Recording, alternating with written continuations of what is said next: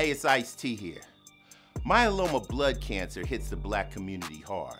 Survival rates are down and the outcomes are poor. It's time we flip the script and change the course of myeloma in the black community.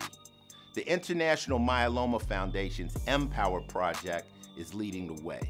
M-Power, Myeloma Power, is a national movement, but it's also a local movement, going city by city, taking a boots on the ground approach to fighting myeloma in the black community.